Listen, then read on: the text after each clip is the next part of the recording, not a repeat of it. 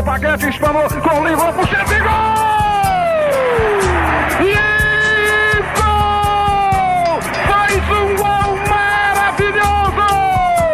números contam a história do espetáculo. Jair pode marcar a ponta, tira Se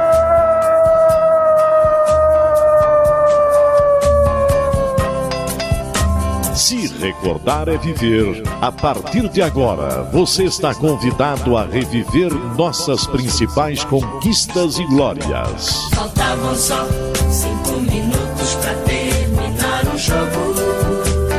Levou pro meio da área, preparou, rolou pro Josué. E deixou a bola passar na ponta, tira gol. Zé Paulinho, correu, bateu. Vai subir Danival, subiu, a bola vai, bateu, atenção. Gol!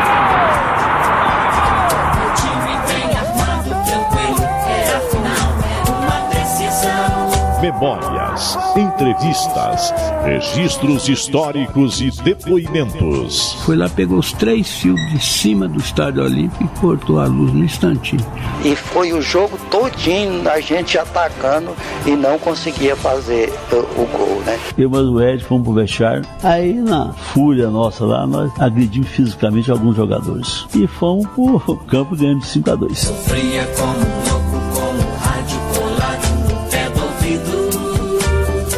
Está no ar Futebol de Goiás e suas histórias. Um programa que exalta as raízes do nosso futebol. Atenção.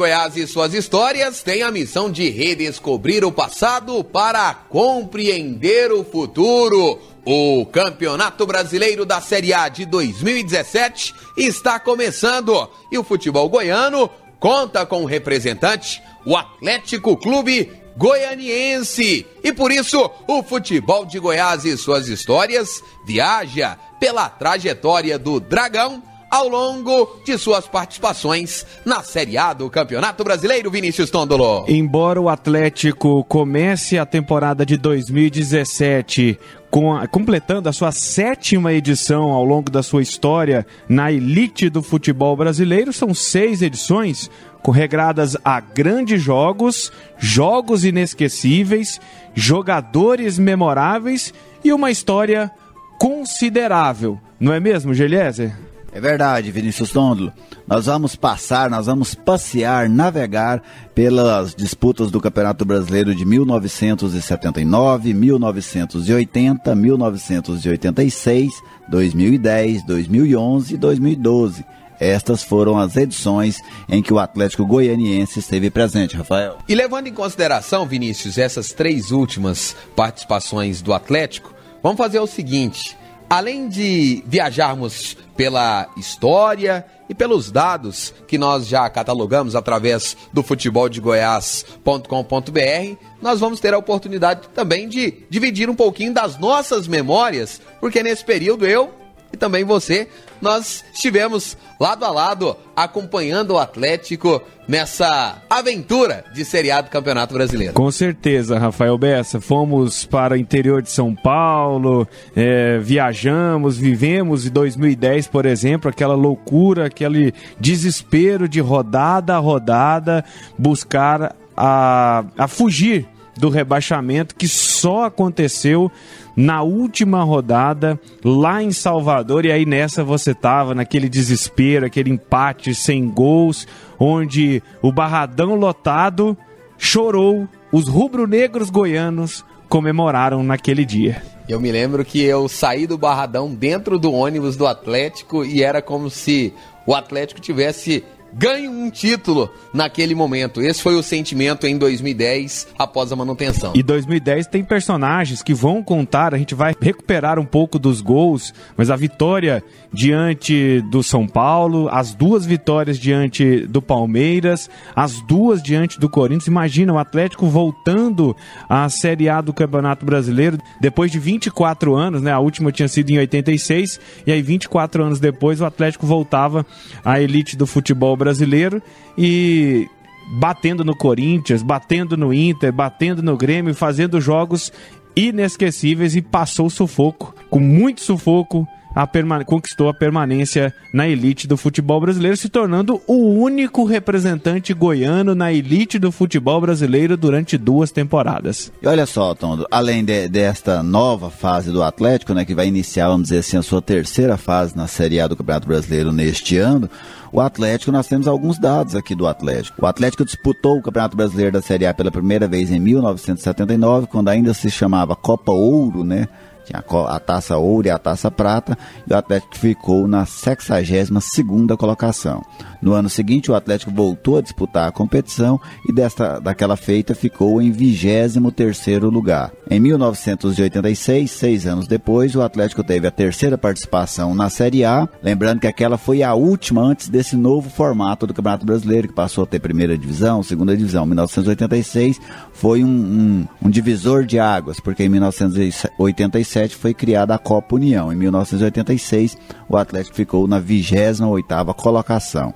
Em 2010, que vocês relembraram há pouco, um pouquinho da trajetória do Atlético em 2010, o Atlético conseguiu retornar ao Campeonato Brasileiro, desta vez pela primeira vez, sendo pelo processo de ascensão, né? O Atlético conseguiu acesso na Série B, porque nas participações anteriores o Atlético jogou a Série A devido à colocação no Campeonato Goiano. Em 79, 80 e 86, o Atlético chegou à Série A devido a ter sido campeão ou vice-campeão estadual. Já em 2010, não, o Atlético conseguiu o acesso pela Série B do Campeonato Brasileiro e terminou na 16ª colocação, a última que asseguraria ao time goiano a permanência na Série A.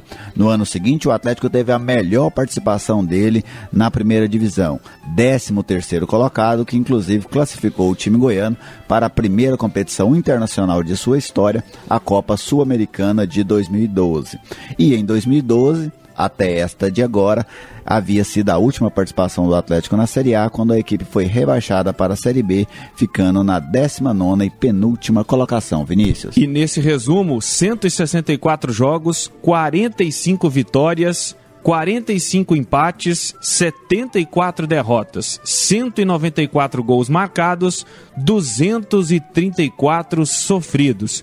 Quem que faz parte do top 10 da artilharia na história do Dragão na Série A, hein, Bessa? O artilheiro, Vinícius, é o Juninho, com 14 gols marcados, seguido pelo Elias, que marcou 12, depois em terceiro Anselmo, com 11 gols. Outro jogador também que fez 11 gols com a camisa do Atlético ao longo do Campeonato Brasileiro foi o Felipe. Em quinto nesse ranking aparece o Alcino com 9 gols, também com 9 o Marcão e o Palinha o Márcio, goleiro, também tem número de destaque, está em oitavo nesse ranking de artilheiro com oito gols. Depois tem o Gilberto em nono com seis gols marcados e fechamos esse top 10 de artilheiros do Atlético ao longo de sua trajetória em campeonatos brasileiros com o Diogo Campos que marcou cinco gols. João Paulo, Gerliezer E vale destacar que 61 jogadores diferentes balançaram as redes adversárias na Série A do Campeonato Brasileiro com a camisa do Dragão. E com relação àqueles que mais jogaram vestindo a camisa rubro-negra. Quem é? Quem faz parte desse top 10 em Gelese? Olha só, Vinícius, o líder é até manjado, né? Vamos dizer assim, é o goleiro Márcio, é o jogador que mais tem jogos pelo Atlético na Série A, com 106 participações. Em segundo, o Cláudio. Quem é o Cláudio, Rafael Beto? O Pituca. Exatamente, Pituca com 84 jogos disputados pelo Atlético na Série A. O terceiro colocado, o zagueiro Gilson, Gilson Rosa de Jesus, 66 partidas. Em quarto lugar, Thiago Felter, lateral esquerdo, com 60 jogos.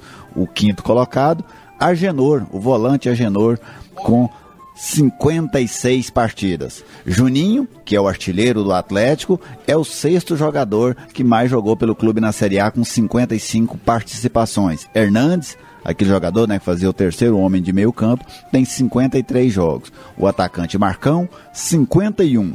Diogo Campos, também atacante, 45 jogos pelo Atlético na Série A. E encerrando essa lista, o Bida, que tem 44 partidas, fechando aí o top 10 dos jogadores que mais atuaram com a camisa do Atlético na Série A. Fato interessante, né, Rafael? Neste ano ninguém vai entrar nessa lista, porque o atual elenco do Atlético não conta com nenhum jogador que já tenha disputado a Série A pelo clube rubro-negro. Rafael. É mesmo, Gerliezer. E por fim, para a gente fechar com chave de ouro esta professores agora. pois é, essa chuva de dados, os treinadores Hélio César Pinto dos Anjos, treinador que mais comandou o Dragão em campeonatos nacionais com 28 participações.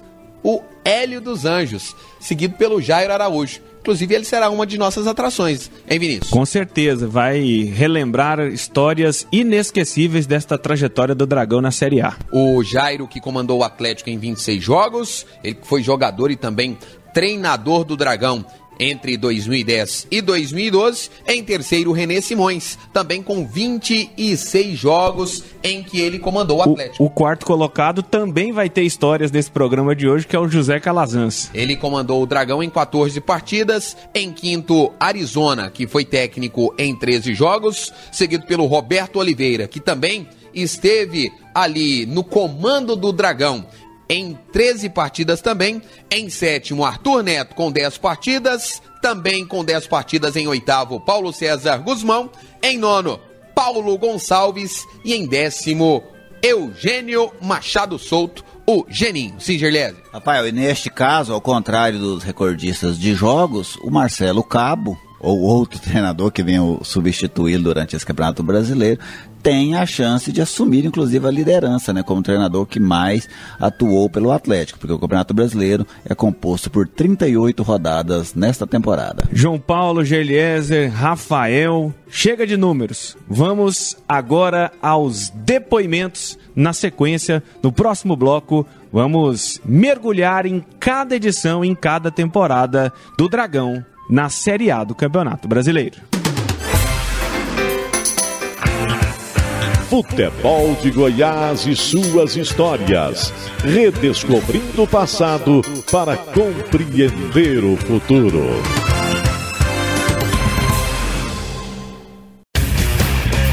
Futebol de Goiás e suas histórias. Resgatando as raízes de nossa paixão.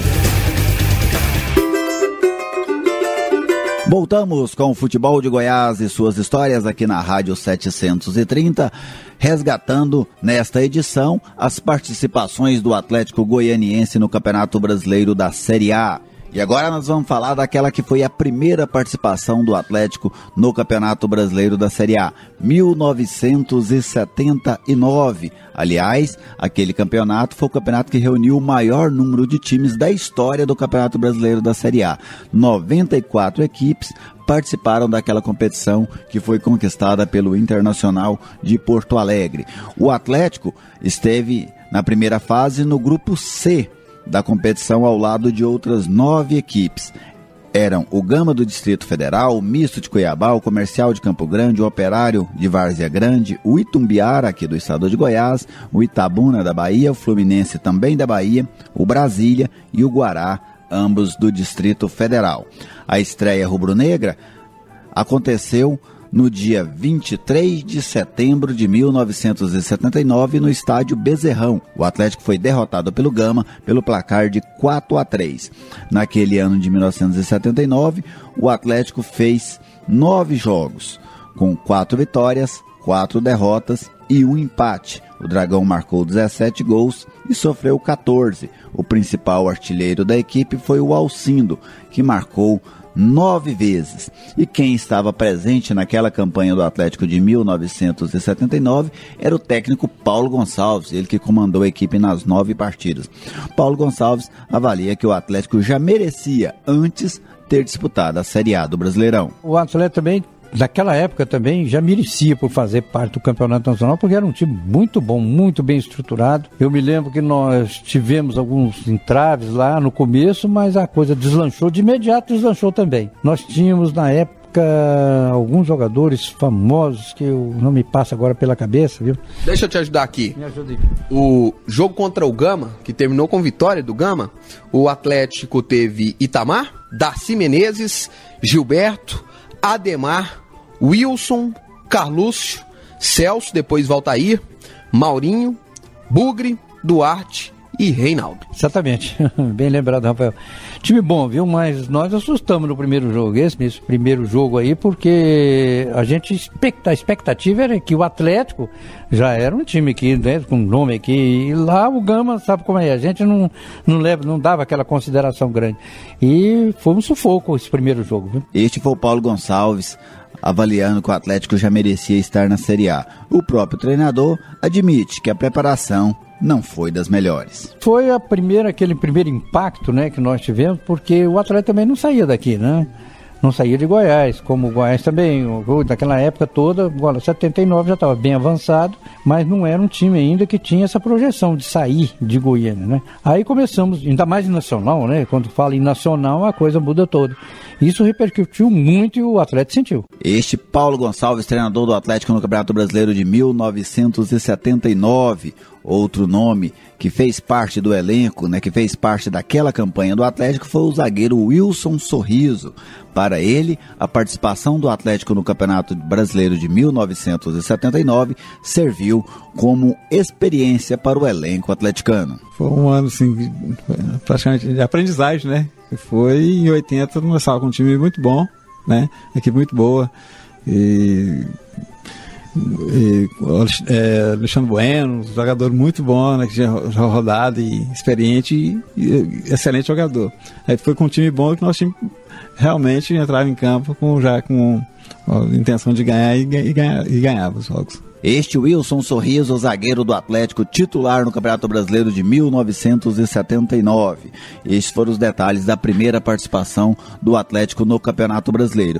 E no ano seguinte, o Atlético novamente voltou a disputar o Campeonato Brasileiro. 1980, o Campeonato Brasileiro foi disputado por 44 times e o Flamengo de Zico foi o campeão brasileiro daquela temporada. Na primeira fase daquele ano ficou no grupo D, ao lado do Coritiba, do Grêmio Porto Alegrense, do São Paulo, do Vasco, do Santa Cruz, do América Carioca, que naquela época ainda frequentava a primeira divisão do Campeonato Brasileiro, do Gama, do Distrito Federal, do Nacional de Manaus e do Maranhão. O Dragão terminou na sexta colocação, com 11 pontos. Vale lembrar que naquele ano, uma vitória no futebol valia apenas dois pontos. O Atlético ficou com 11 pontos em nove jogos, sendo três vitórias, cinco empates e uma derrota. O Atlético avançou para a segunda fase com essa sexta colocação e ficou no grupo G, que tinha também o Internacional de Porto Alegre, o Atlético Mineiro e o Bahia. Aí a campanha não foi boa. O Atlético teve apenas uma vitória e cinco derrotas em seis jogos e terminou essa fase na terceira colocação com dois pontos ganhos e acabou eliminado da sequência do Campeonato Brasileiro. Nesse ano de 1980, quem permanecia lá no Atlético era o zagueiro Wilson Sorriso e ele se lembra especialmente de uma vitória que o Atlético teve sobre o Grêmio de Porto Alegre. Então nós tivemos esse resultado positivo. Então, mesmo do Vasco, e foi lá no, América, né? Que era time bom, e o Grêmio lá, no, lá em Porto Alegre. Até que o Baltazar tinha ido pro Grêmio, ele que jogou de centroavante na época. Você jogou contra ele. Contra ele. E é, mesmo assim saiu vitorioso lá do, do Olímpico, né? É, saímos, foi 1x0, gol do Gilberto, aí tudo foi assim, a coisa. É, chegamos lá, apontaram só a mão cheia, que nós ia perder de 5x0, aquela coisa, mas ganhamos o jogo, aí é que foi a maior zebra da loteria. Esta vitória sobre o Grêmio de Porto Alegre encheu o Atlético de moral. E o treinador da equipe na época, José Calazan, se empolgou, né, deu entrevistas polêmicas para a, especialmente para a imprensa do Rio Grande do Sul. E quando o Atlético voltou ao Rio Grande do Sul novamente, desta feita para enfrentar o Internacional, José Calazans falou muita coisa, disse que ia ganhar do Internacional, mas o Wilson Sorriso se lembra que o tiro saiu pela culatra. Depois quando, né, quando decidiu a vaga lá contra o Inter, lá no, no, Beira, no, no, no Beira Rio. Aí Kazan, dando estreia, rapaz, os caras entraram igual um foguete. Aí tomamos uma goleada lá, 4x0, né? Esta lembrança do zagueiro Wilson Sorriso sobre a participação do Atlético no Campeonato Brasileiro de 1980. Naquele ano, o Atlético terminou o Campeonato Brasileiro na 23 terceira colocação entre 44 participantes. Neste bloco, nós relembramos das duas primeiras participações do Atlético no Campeonato Brasileiro da Série A, 1979 e 1980. Na sequência do futebol de Goiás e suas histórias, Vinícius Tondolo contará como foram as participações do Atlético em 1986 e em 2010. Futebol de Goiás e suas histórias. Redescobrindo o passado para compreender o futuro.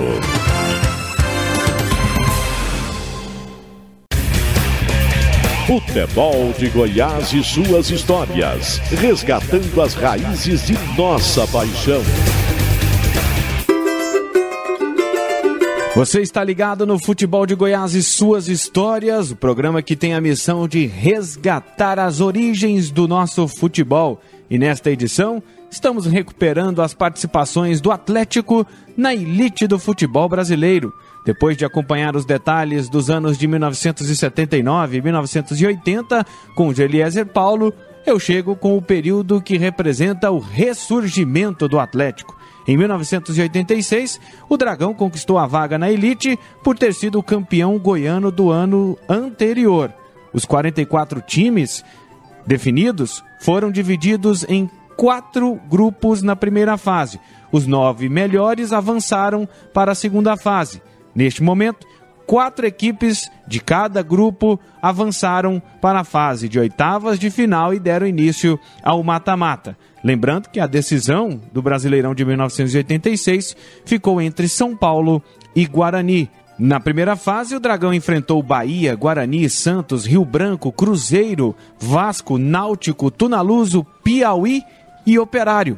Conseguiu vaga no grupo seguinte, na fase seguinte, onde enfrentou Guarani, Fluminense, Flamengo, Grêmio, Goiás, Santa Cruz, Vitória e Central de Caruaru. E os atleticanos acabaram não conseguindo a classificação. Mas nem por isso, este momento, este campeonato, se tornou inesquecível. Vamos relembrar um pouco da memória de Ronaldo Luiz. Ah, é memorável. Essas partidas aí, eu acho que talvez eu teria uma carreira mais longa nisso aí se tivesse dado sequência. Porque, igual você falou, nós tivemos aí times Série A jogando. Eu lembro muito bem é, jogos que eu fiz memoráveis, que como é que nós estávamos falando em off, eu joguei contra Flamengo aqui no Serra Dourada, Fluminense lá no, no Maracanã, que foi um, duas excelentes partidas que nós tivemos e conseguimos dois empates, mas teve Joinville, teve Central de Caruaru, teve Grêmio de Renato Gaúcho, onde nós perdemos, eu estava no banco, isso aí, eu lembro direitinho também, porque nessa, nessa fase aí nós tivemos um treinador muito feliz que foi o Roberto Oliveira. Ele deu-se oportunidade para quase todos os atletas. Eu lembro muito bem que o atleta nessa época, ele, ele tinha oito zagueiros, que era um campeonato bastante disputado, e posso te falar aqui todos os zagueiros que passaram nessa época, porque zagueiro treinava separado naquela época. Nós tivemos excelente zagueiro, vou te falar aqui, ó, Nel Serginho, que veio de Minas, é, Dick, Nogueira, Ronaldo, o, o, o, Oliveira, que tinha subido do Júnior, mais dois jogadores do Júnior. Então, como se diz, tinha oito zagueiros em 86 para jogar dois. Ou seja, ficava seis de fora, ia para um banco, cinco ficava de fora. Tanto é que nessa fase aí, o Atlético teve que se montar uma equipe B, que se chamava Cantareiro para ter esses jogadores em atividade. Onde nós fizemos alguns amistosos no interior de Goiás, que se preparavam todos os jogadores, quando precisasse, estavam em forma para poder entrar. Então foi uma lembrança boa de sair desse campeonato de 86, onde todos os atletas do Atlético ficaram super satisfeitos, que tinha um elenco formidável, que tinha, como se diz, praticamente dois times. Um time jogava-se na, na Série A e o outro time ficava disputando partidas amistosas, justamente para isso, quando precisasse, ele entrasse e estava em forma. Foi o que aconteceu comigo. Eu tive essa oportunidade de jogar contra o Flamengo, contra o Fluminense, contra o Grêmio, eu fiquei no banco de reservas. E daí eu tive a oportunidade de jogar, se não me engano, que eu lembro do Joinville, que eu joguei, o time do Atlético foi muito bem, fui expulso até eu e o, e o Toninho Aguiar, que o juiz lá meteram a mão mesmo, não tem como. Mas são partidas memoráveis que tem na minha lembrança que o sucesso do Atlético foi tão grande que começou a ficar-se famoso isso aí. Depois se caiu no esquecimento, foi voltar só em 2010, como você bem frisou. E é verdade que nessas partidas você quase ganhou o motorrádio, porque era o prêmio da moda é ganhar um motorrádio. Ah, sem dúvida. Quase não, eu ganhei. Eu posso te falar que os jogos que eu ganhei o motorrádio, né? Esse contra o Flamengo, igual você falou, quase foi porque eu perdi com disputa com o Valdeir. Onde o Valdeir entrou muito bem no jogo também e fez o gol do empate, se não me engano. Então a disputa foi acirrada entre os cronistas, onde deu-se 3 a 2 para o Valdeir. E no Rio, outra excelente partida que nós tivemos a condição de, ser, de ter feita, onde ficou entre eu e o Leonete. O Leonete levou a melhor porque ele tinha defendido o pênalti, mas ficou os 3 a 2 também. Mas eu fiquei satisfeito de ter feito Uh, ambas boas partidas e ter ajudado o Atlético no resultado favorável que foi o um empate nas duas partidas. Este Ronaldo Luiz. E depois desta participação, o Atlético não viveu o protagonismo na elite nacional disputou Série C, Série B e quase fechou as portas. O grande marco do renascimento rubro-negro foi o acesso à elite do futebol brasileiro conquistado em 2009, que pegou de surpresa até mesmo a diretoria do clube, como revela o ex-presidente Valdivino José de Oliveira. 2009, a gente imaginava é, preparar o time para 2010, 2011, a gente está com ele em condições de subir.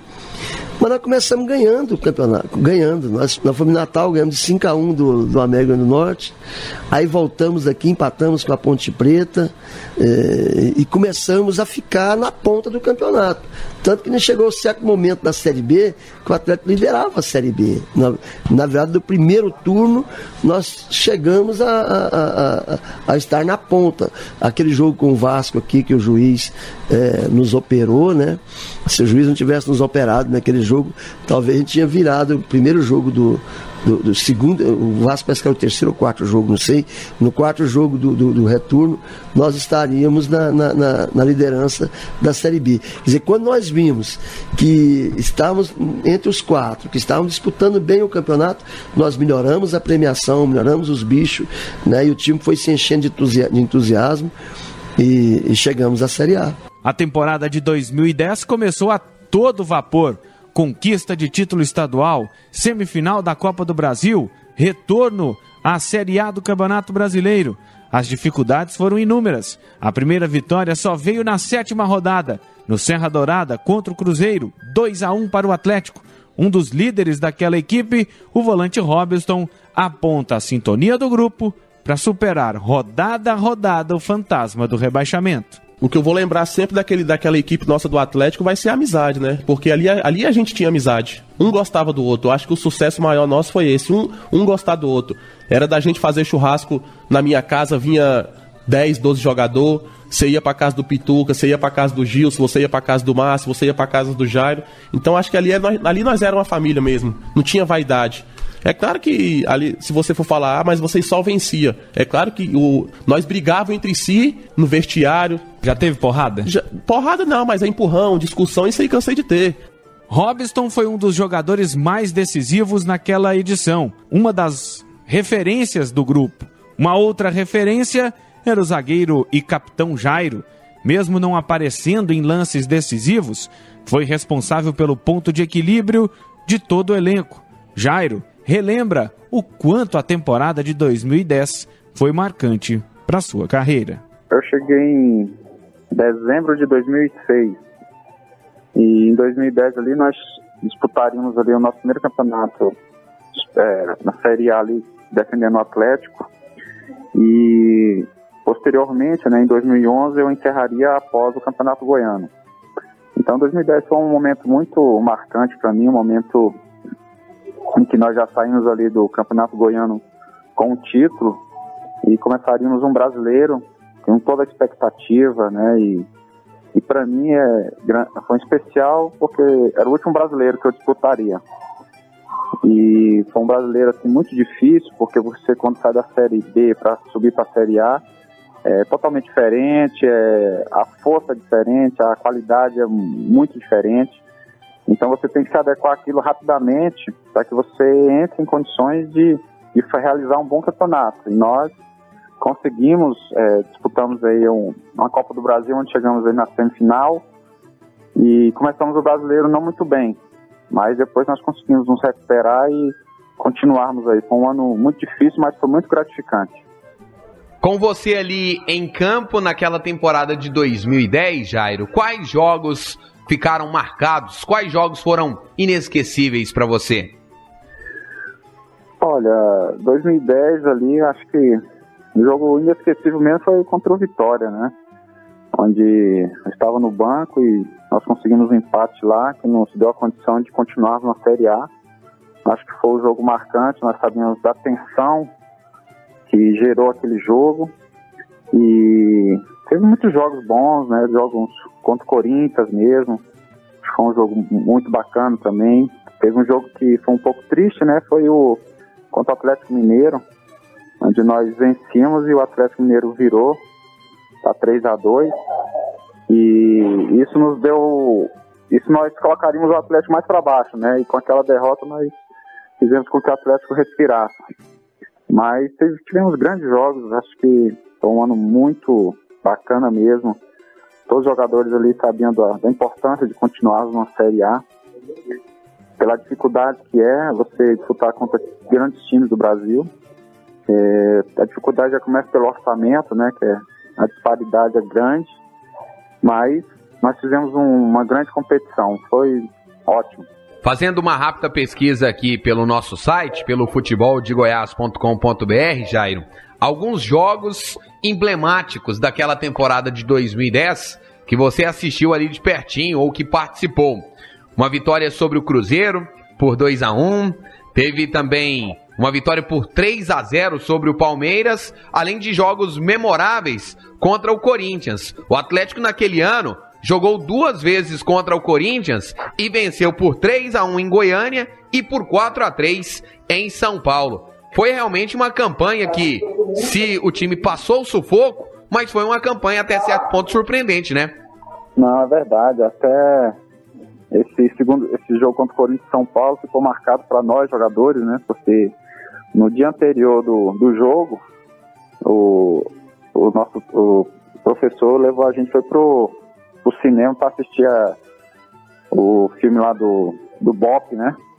Então aquilo ali foi, assim, na nossa cabeça, nós não imaginávamos que, ia, que aquele filme ia trazer tanta força para nós para nós jogarmos contra o Corinthians no outro dia, porque a imprensa já dizia que nós eh, já éramos derrotados, o Corinthians era um bom time e já começamos levando um gol, né? Então, no começo do jogo já, o Corinthians já fez 1 a 0 então se tornou-se mais difícil.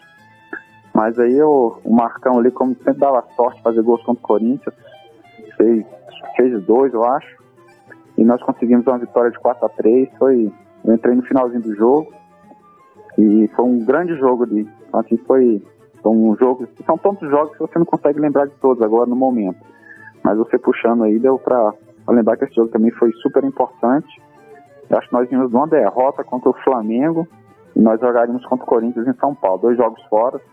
Então acho que essa vitória foi fundamental. Foi uma vitória digna da tropa de elite do Atlético. É, realmente, acho que acho que o nosso técnico ali, que é um grande técnico, é, nos fez essa surpresa e como fez também lá em lá em Salvador no último jogo. Nós saímos da ele teve uma reunião, marcou a reunião no sábado e nós pensávamos que ia ser uma palestra. E daqui a pouco ele chama todo mundo, a gente vai andar na praia, manda todo mundo ficar descalço, vamos andar na praia, conversando. E assim, para tirar atenção, né? Que nós estávamos muito tensos, sabíamos da importância do jogo. Então ele foi muito inteligente nessa, nesse quesito. Este o zagueiro Jairo, que depois se tornou técnico, e no próximo bloco a gente repercute um pouco mais sobre isso. O Dragão terminou a edição de 2010 na 16ª colocação com 42 pontos. Se livrou do rebaixamento pelo critério de desempate. Foram 11 vitórias, 9 empates e 18 derrotas. 51 gols marcados, 57 sofridos. A história rubro-negra teve sequência na Série A e no próximo bloco viajamos para 2011 e 2012. Futebol de Goiás e suas histórias. Redescobrindo o passado para compreender o futuro.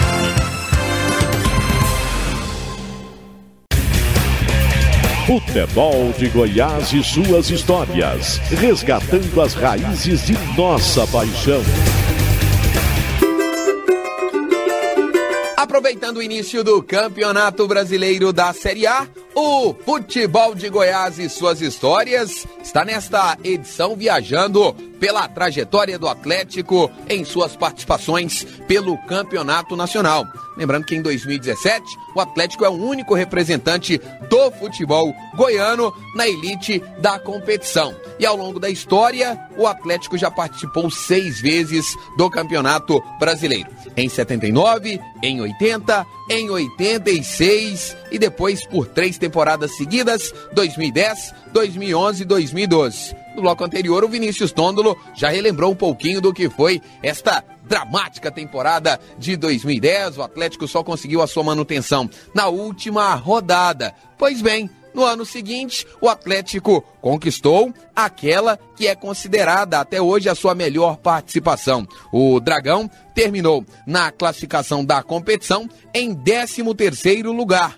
Em 38 jogos, o Campeonato Brasileiro já estava no atual formato. O Dragão conquistou 48 pontos, com 12 vitórias, 12 empates e 14 derrotas. O Atlético marcou 50 gols, sofreu 45, ficou com um saldo de 5. O caminho do Atlético naquele Brasileirão de 2011 começou a ser aberto com uma quebra de invencibilidade. O Coritiba não perdia já há muito tempo, principalmente em jogos em Curitiba, mas lá esteve o Dragão. Você confere a narração do gol da vitória rubro-negra na voz de Márcio Ferreira. Olha a bola no ataque de Marcão, gol de cabeça para o Felipe. Eu passe agora vai. Botou na área para o Brizola. Ele não dominou. Ela se para o Felto, para o Brizola. Para o Felto, pode queimar. Queimou. Marcão vai marcar, penetrou! ele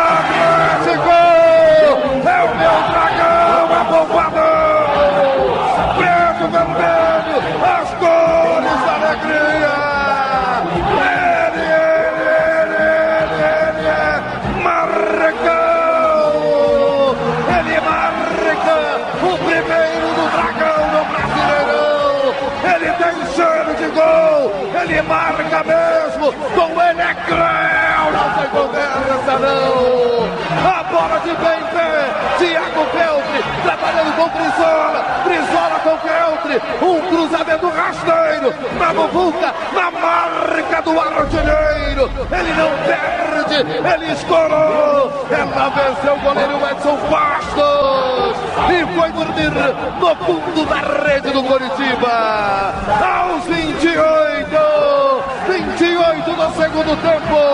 Marcou, ele marca, ele marcou. Ele é do Dragão. O cara é nove. Atlético, Coritiba zero. O Marcão sabe que ela gosta de dormir na rede.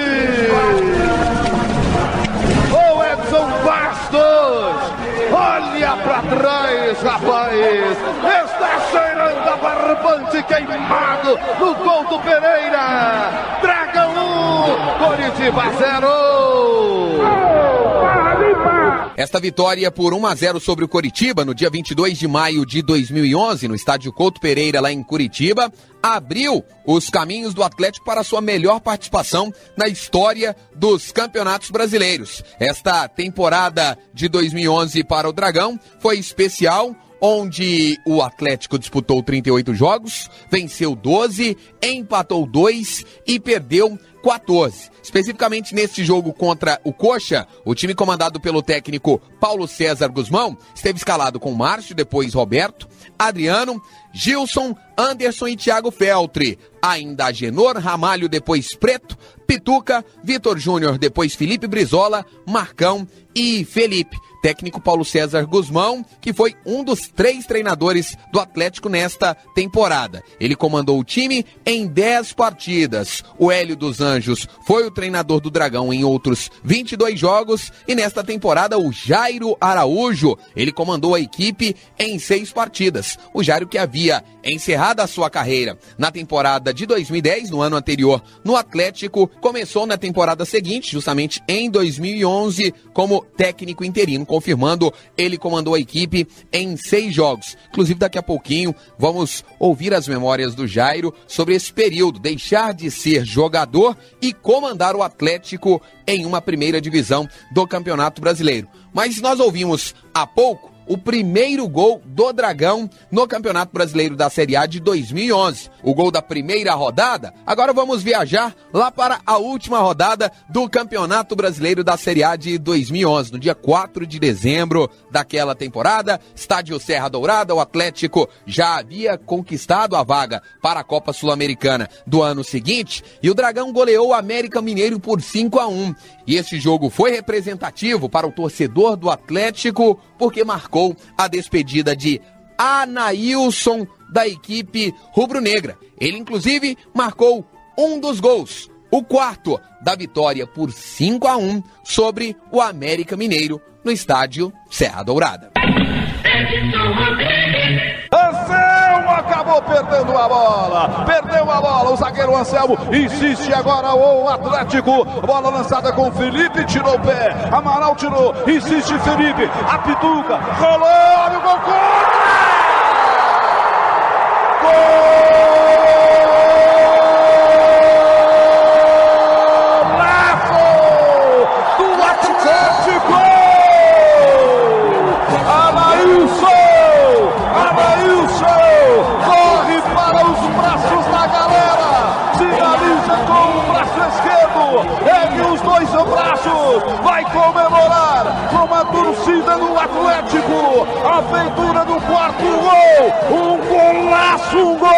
golaço, um golaço do Anailson! Não desviou em ninguém! Anailson com a sua marca, com a sua característica, com a sua categoria, com seu futebol portentoso, com a sua técnica extraordinária, com a sua visão de jogo esplendorosa, o pequeno gigante Anailson, que tantas e tantas alegrias já proporcionou ao torcedor do Atlético e no seu jogo de despedida, volta a dar muita alegria para este torcedor que tem verdadeira paixão por este pequeno gigante. Faz um gol por cobertura, faz um gol de classe, faz um gol maravilhoso, um gol cinematográfico, gol da marca dele, do pequeno gigante Anailson. Camisa número 16.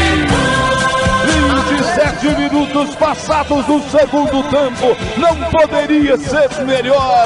Não poderia ser melhor. Anailson passando o seu último jogo com a camisa do Atlético. Se despedindo com este golaço. Um gol que dá muita alegria para a grande torcida do Atlético. Representada pelo Juvenil, pelo Marcelão. E o Atlético quer o quinto gol. E acaba de perder a chance do quinto gol. Ô Anailson, Deus lhe pague. A gente que ama o bom futebol, a gente que adora o futebol técnico, agradece a você por este gol e tantos outros gols que você já fez, não só pelo Atlético, mas pelos clubes pelo qual você passou. Obrigado, pequeno gigante. Um gol que dá muita alegria. Eu repito, para o juvenil, para o Marcelão e para o pescoço e para o Barreto. Ô, oh, Glaico, levanta que vem mais.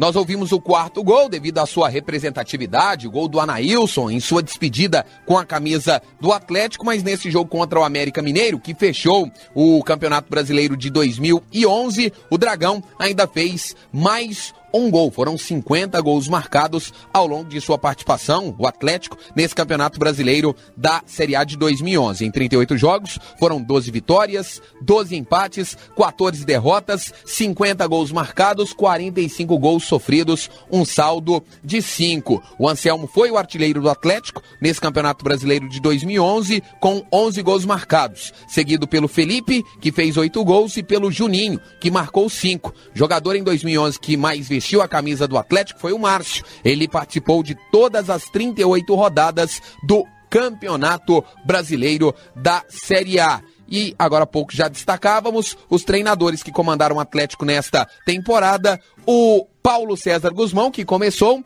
o Jairo Araújo, que foi interino, e o Hélio César Pinto dos Anjos, o Hélio dos Anjos, que terminou o Campeonato Brasileiro de 2011 comandando a equipe rubro-negra. O Hélio dos Anjos, que não conseguiu no ano seguinte ter o mesmo desempenho no comando do Atlético. Aliás, o Dragão, de uma forma geral, não conseguiu ser bem sucedido. Só para se ter uma ideia, em 2012 o Atlético só conseguiu a sua primeira vitória na décima rodada, em jogo no dia 19 de julho.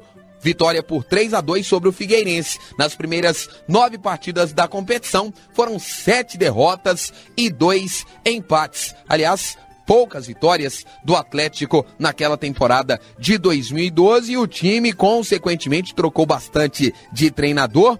O Hélio dos Anjos, ele depois, inclusive, foi técnico do Atlético desta temporada, mas não conseguiu o mesmo sucesso. O Dragão ainda teve Arthur Neto, Jairo Araújo e Adilson Batista em 2012. O técnico Jairo Araújo, agora há pouco nós até comentamos sobre ele que foi interino em 2011 e em 2012 comandou a equipe em 20 partidas. Ele vivia um momento de transição. Em 2010 ainda foi jogador do Atlético. 2011 comandou a equipe em algumas partidas e em 2012 virou efetivamente treinador da equipe.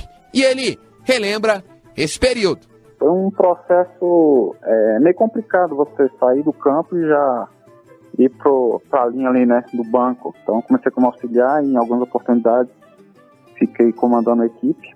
Mas esses dois jogos aí foi 2 a 0 aí no, foi no Serra Dourada e 2 a 0 no Santos foi no aqui foi no Distrito Federal.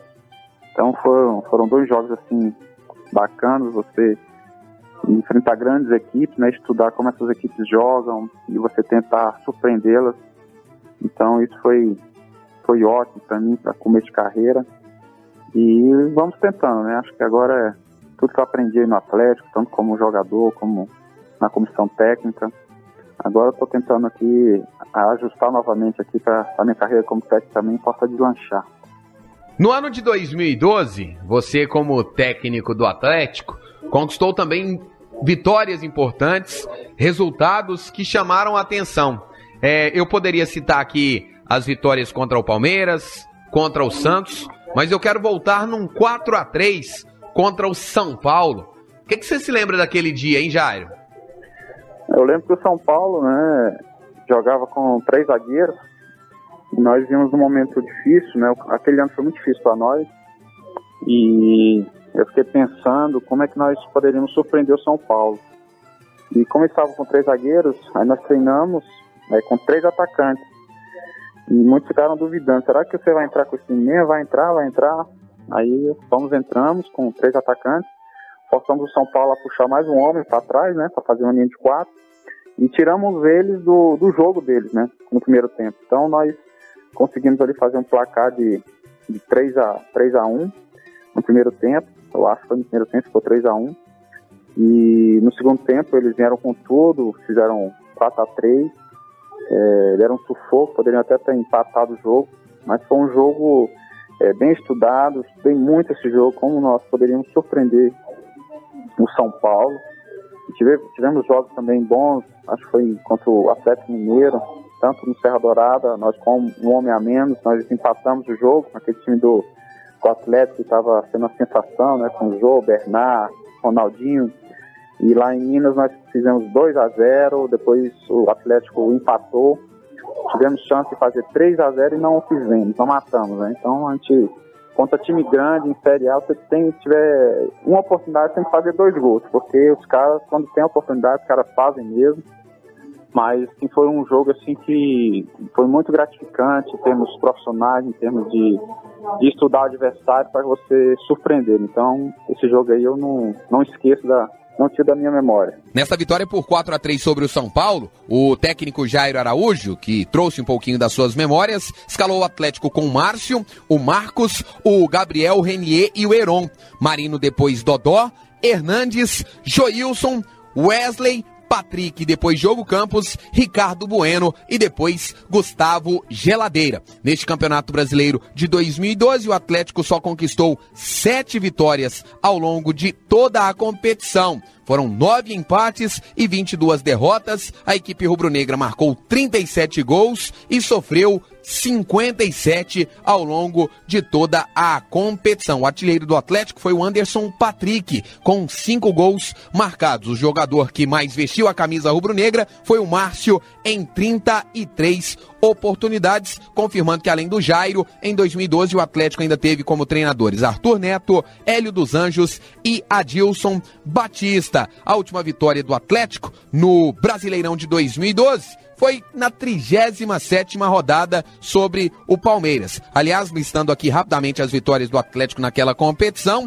3 a 2 sobre o Figueirense, 4 a 3 sobre o São Paulo, 2 a 1 sobre o Palmeiras no jogo do Serra Dourada, 2 a 1 no Fluminense, no Rio de Janeiro, 3 a 1 no Internacional em Goiânia, também Goiânia uma vitória por 2 a 1 e na penúltima rodada, o Atlético venceu o Palmeiras em São Paulo, no estádio Pacaembu, por 2 a 1. Apesar de rebaixado, o Atlético se despediu em alto estilo da Série A de 2012. Competição que, aliás, ele retorna a disputar nesta temporada de 2017. Vamos relembrar, portanto, esta vitória por 2 a 1 sobre o Palmeiras, fechando o futebol de Goiás e suas histórias especial, viajando pela trajetória do Atlético Clube Goianiense pela história do Campeonato Nacional.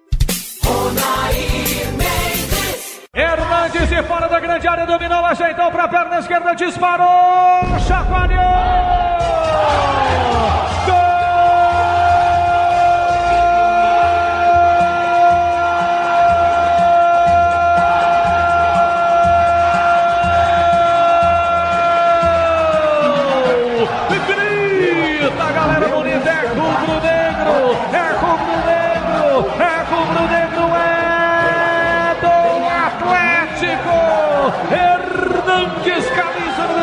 Número 8. Hernandes, emoção, alegria, rubro-negra no estádio do Pacaembu. Perna canhota, Hernandes de fora da área, arriscou, clareou. Ele manda um foguete rasteiro no canto esquerdo do Rafael Alemão. É o dragão de novo na frente, é o dragão de novo na frente. Hernandes, camisa número 8. Quando meu relógio marcava 12 no segundo tempo no estádio do Pacaembu. Hernandes, alegria na campininha. Demais o gol que ele faz. É uma loucura essa figura. Hernandes, perna esquerda boa do jeito que ele gosta. Pancada de fora da grande área para pôr o Atlético de novo na frente e mostrar que o Pacaembu também é casa do rubro-negro goiano. Hernandes não falha. Hernandes chacoalha o coração do professor Rui Carlos do Colégio Planeta. Agora, Palmeiras 1, Atlético 2. E a galera rubro-negra vibrou. A bola entrou, a rede chacoalhou. Chacoalhar, chacoalhar, chacoalhar. E eu quero ver. Oh,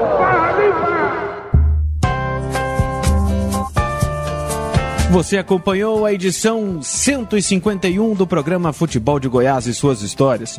Hoje foi a vez de contar um pouco mais, de detalhar, trazer curiosidades, números da trajetória do Dragão na elite do futebol brasileiro. Você confere as nossas outras edições no www.futeboldegoias.com.br. Siga a gente também no Instagram e no Facebook e participe. Nos ajude a contar a história do futebol goiano. Um grande abraço e até a próxima.